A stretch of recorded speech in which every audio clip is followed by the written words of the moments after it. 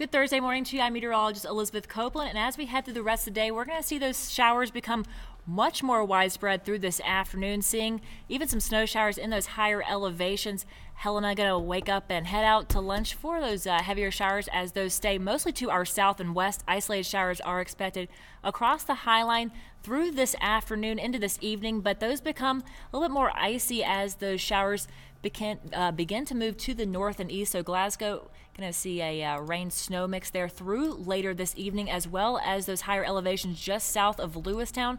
So we do have a winter weather advisory in effect for uh, the mixed rain and snow across the High Line there for Valley, Daniels, Sheridan, and Roosevelt counties and expecting about three inches of accumulation there. So, this winter weather advisory is for those slippery roadways and very much uh, possible reduced visibility at times with that snow and rain falling through about 6 p.m. tonight to Friday at 9 a.m. is when that advisory is in effect. So, we're also tracking uh, mountain snow there. So, Kings Hill Pass is another major concern here in Cascade County with about three to five inches of accumulation expected across Highway 89. So, another uh, pass to look out for as you head out the door tonight into tomorrow morning.